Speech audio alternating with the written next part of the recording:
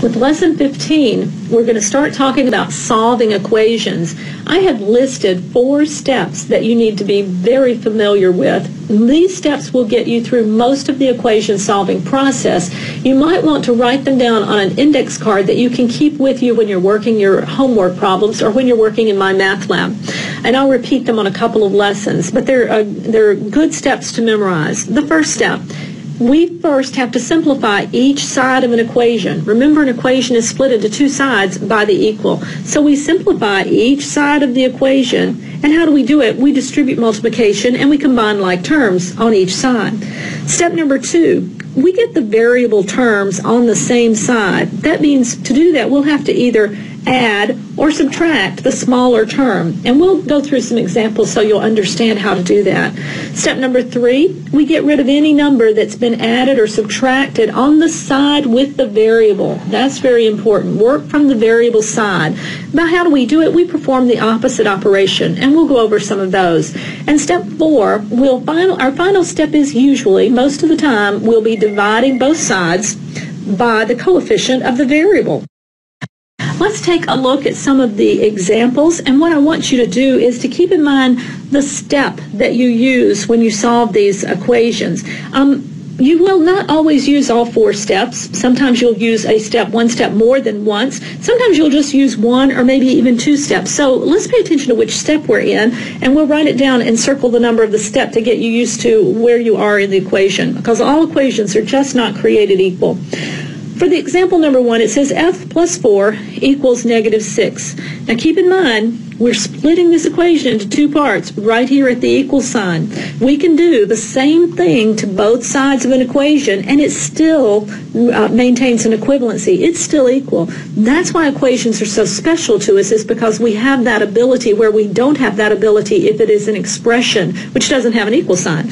So this has f plus 4 is equal to negative 6. The place I'm going to start is I need, I mean, my variable terms are already on the same side. F is the only variable term there. The uh, Each side is already simplified, so I don't have to do step one. But step three says get rid of any number that is added or subtracted on the side with the variable. And over here with F, I do have a 4 that's added plus 4.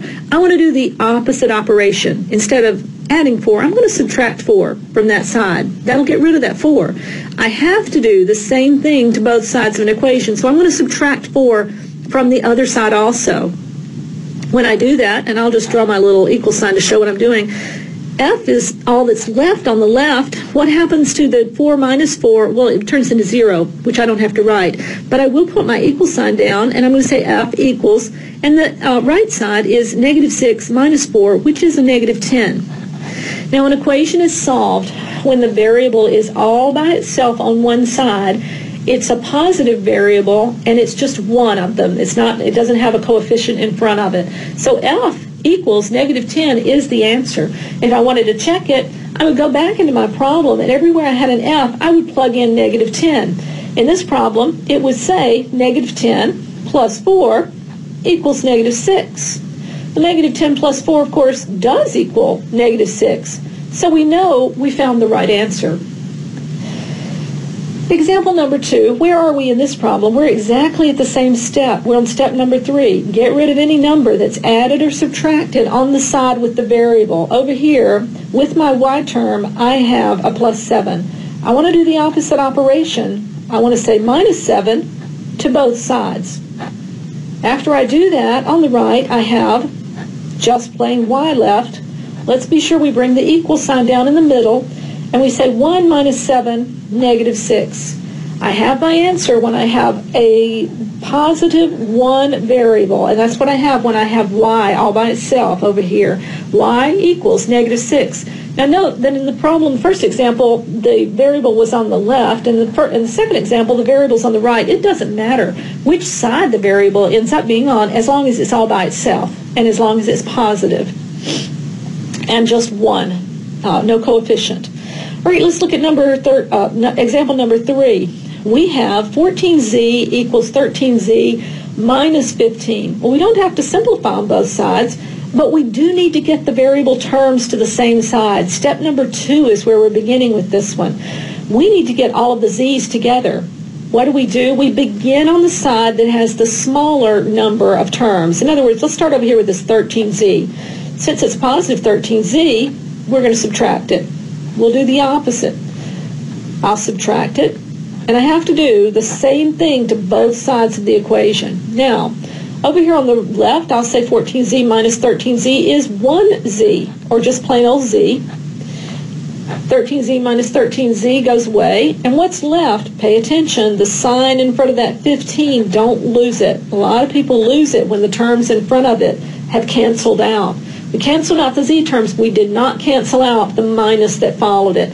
So our answer is z equals negative 15. In example number four, we're down to the fourth step in our solving equations problems.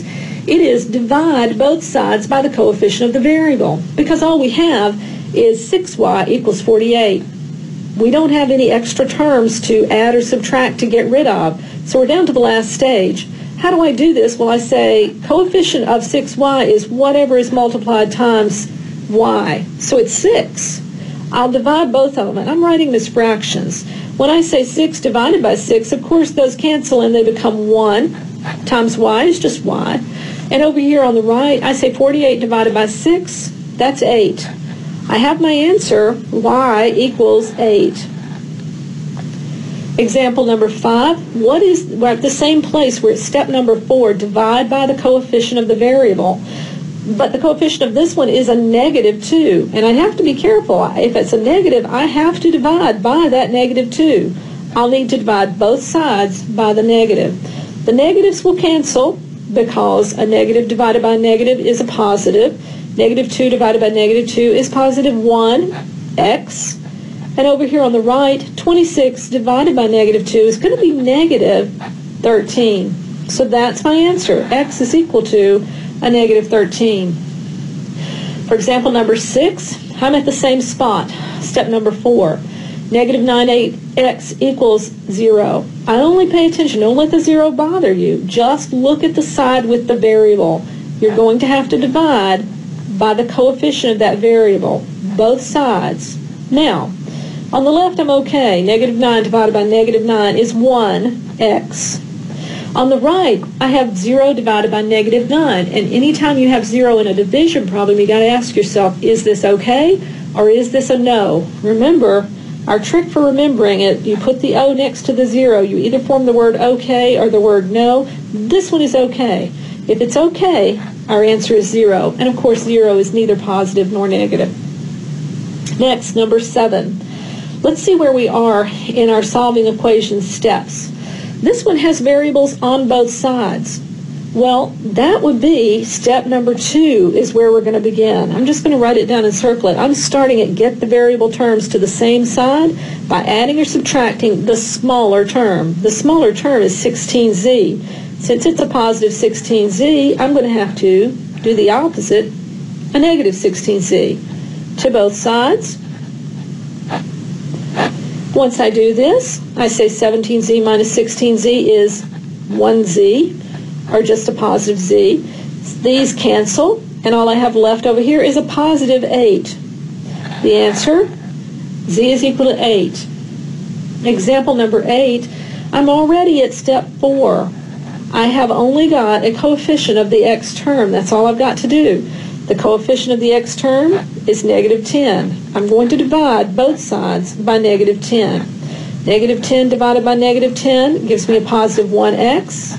And on the right, negative 10 divided by negative 10, a positive 1. x will then equal 1.